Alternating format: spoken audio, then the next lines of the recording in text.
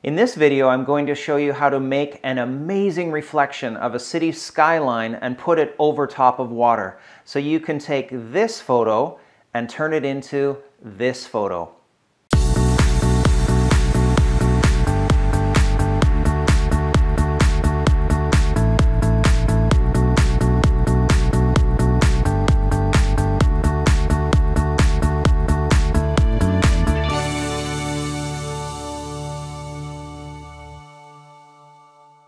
So I've just opened the photo in Lightroom and this is how it looks untouched. I remember on this specific day, I was so disappointed because the weather didn't turn out the way that I wanted. I wanted a nice sunset photo with clear skies, but it just wasn't in the cards. So when things don't work out, with beautiful skies, then go for the stormy sky look, and that's what we're going to do.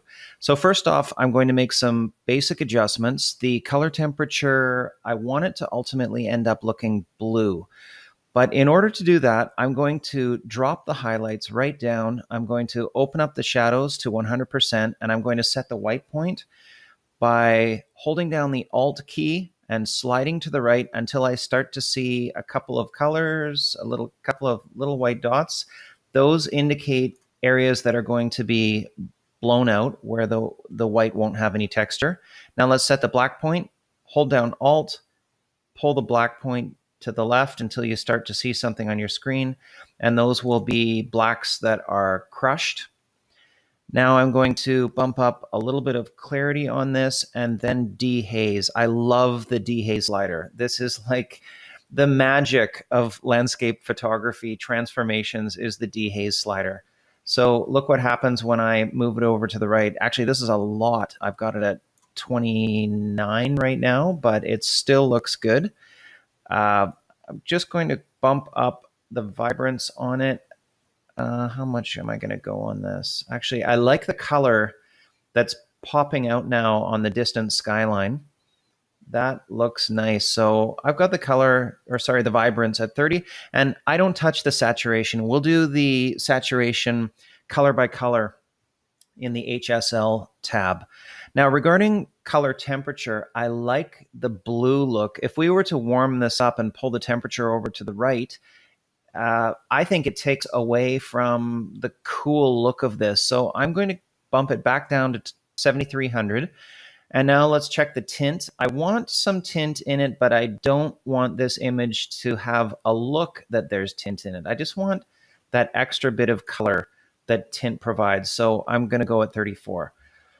So now we're ready to create the reflection. And in order to do that, we need to bump this image over to Photoshop. And this is the beauty of having Lightroom Classic CC is that I can quickly move this over to Photoshop. So I go down to the bottom I right click, select Edit in, Edit in Adobe Photoshop CC 2018. Click. And Photoshop opens up. I'm going to maximize the screen. And I'm going to fill this up so it fits on the full screen. Now, there are just a couple of little tweaks. There's a dust spot there, dust spot there, dust spot there and I'm going to quickly clone those out. I really like the cloning tool in, I'm not going to clone them, sorry. I'm going to use the uh, spot healing brush. The spot healing brush is not really available in Photoshop, or sorry, in Lightroom, and it really should be. It seems that the spot healing brush in Photoshop works a lot better than Lightroom for fixing little things like this. Okay, that is done. Now, there are a couple of buoys here, and I don't really like them. So I'm going to zoom into 100%, and I'm going to clone out these two buoys. Clone stamp tool. I'm going to reduce the size of my brush using the left bracket I'm going to hold down the Alt button, left click to select that source.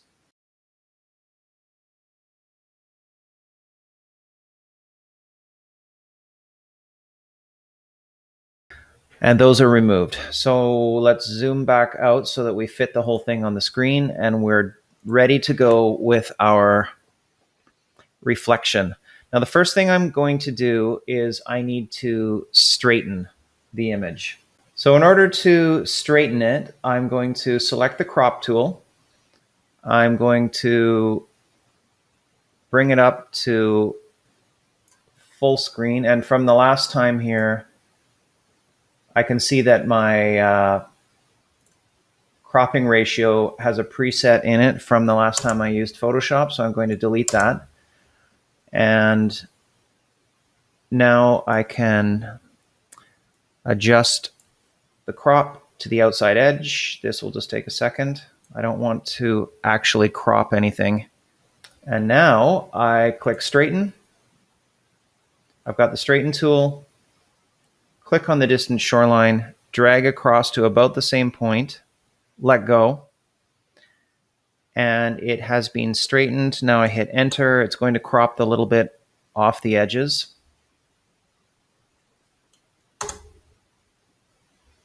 And there's our newly straightened photo.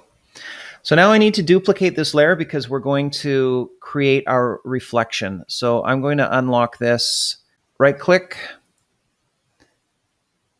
and duplicate layer.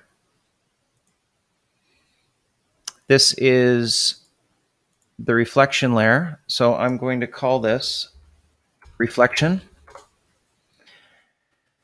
And I'm going to use the transform tool. So I have to go control T for transform. And now you can see those little handles have appeared at the top. Now I right click and go flip vertical.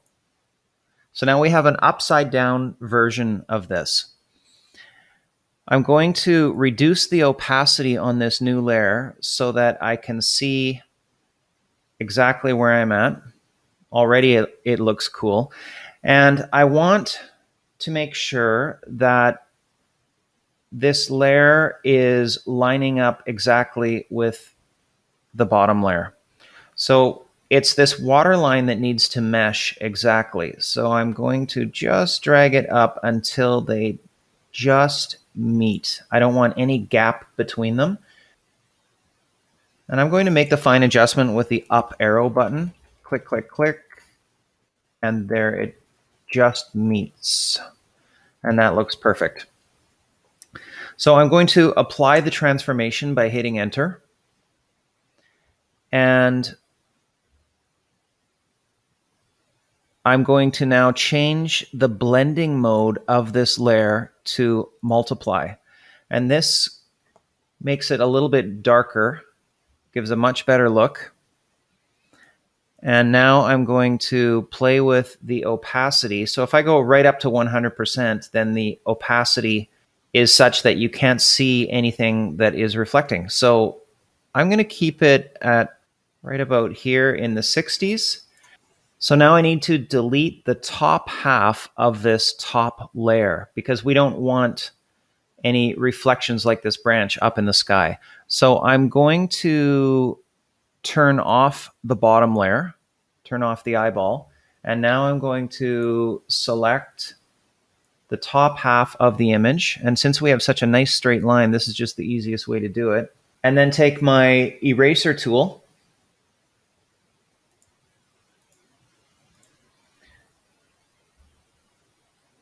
Make sure that the top layer is selected. and delete the top layer. Or I should say the top of the top layer. That's done. Hit Control D to unselect. Let's turn on the bottom layer again. Oh my goodness, that looks fantastic. Now, I have the option of delete or sorry, cloning out this branch here. I actually like the branch because it just creates sort of a sense of realism and now let's take a look at the opacity just one more time. It's like one last look to see if we want the opacity to change. And because I have that option of bringing it right up. The only thing is with this option, I think as much as I love this look, there's something a little bit unrealistic about it because the bottom reflection has the same strength as the top. So if I keep it at 90, there's just that slight difference in reflection between the top and the bottom. But the real key here is using the multiply layer. So I'm happy with this. I think it looks really cool. One other thing that we can do if we want to is that we can stretch the bottom layer uh, by hitting Control T again and grab the bottom handle and pull it down and then move it back up.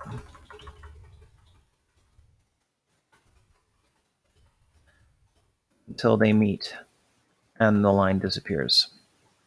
So I've made the bottom layer slightly elongated, slightly longer than the top layer, which is something that's a little more true to form with reflections. I think I want to, um, I'm going to apply that transformation and I'm just going to zoom out just a little more. And let's do this again, Control T, and just a little bit less. Bring it back so there's no overlap. Looking good, hit enter. And let's bring it back to Lightroom. And the way to bring it back to Lightroom is to, you don't need to save it first. You just hit close. And Photoshop is going to ask, do you want to save it before closing? Yes, I definitely want to save it. So all I have to hit is yes. And then automatically Lightroom is opened up and this image is going to open up within Lightroom. And here it is opened in Lightroom. Now you'll notice that when it comes back from Photoshop, all of our presets have been set to zero. They've all been reset. This is a TIFF now. And so I'm not going to touch these ones because I know I already preset them before we went to Photoshop. But now we can take a look at the HSL sliders and see if there are any adjustments that we want to make.